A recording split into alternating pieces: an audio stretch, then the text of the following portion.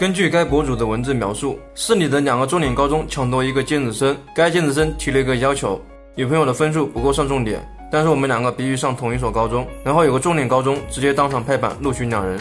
博主表示会跟进此事，所以你为什么上不了重点呢？对象没选好。七月五日，市民齐先生骑电动车送儿子上学的时候，刮蹭了黄先生的宝马车。因为找到车主，秦先生留下字条，表示会承担相应赔偿。经过宝马 4S 店评估，修理费在一千九百左右。了解到秦先生家里困难，黄先生表示算了，但是秦先生坚决要赔偿，因为是他刮的。黄先生表示邀请秦先生来公司上班，以赔偿黄先生的损失。生活还是很美好的，特别是夏天吃西瓜。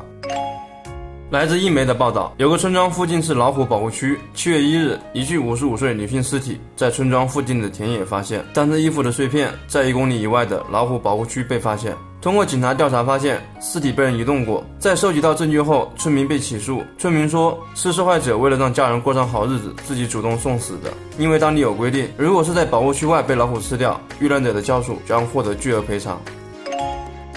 七月四日，贵阳一男子报警称遭遇抢劫，并被人用刀所伤。大量查证后，民警发现是该男子工作压力太大，以为受伤可以不用上班，才自杀大腿假报警。所以上班比挨刀还痛苦吗？该男子大腿缝了五针，拘留五日，罚款两百元。